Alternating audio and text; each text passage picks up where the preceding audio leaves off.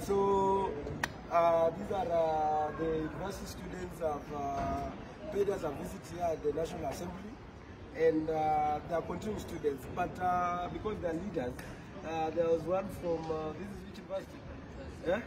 Eh? Tuk University, Masai Mara, Tuk, Tuk University, UN, UN, Daystar. So all of them, uh, they are the student representative.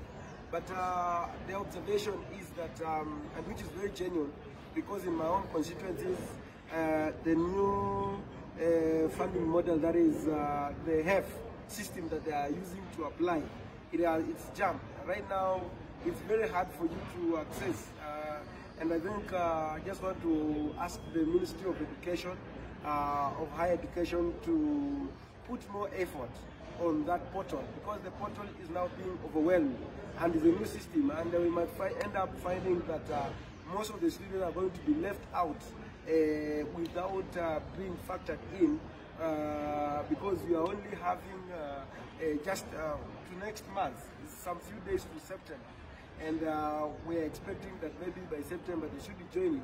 But you find that the majority of them, they haven't been captured into the new portal that has been established. So I want to ask the, the CS Machogu and his team to uh, put uh, all the efforts and make sure that they give uh, enough uh, resources on that new platform, that new portal, so that uh, our students, because education is the key, we support the new model. We support everything that uh, the president is uh, is putting in place. And uh, after some few one year, we will also come and give the feedback out because we cannot start contemplating that um, uh, it's good or bad, but let us also and uh, give it uh, the support that it needs.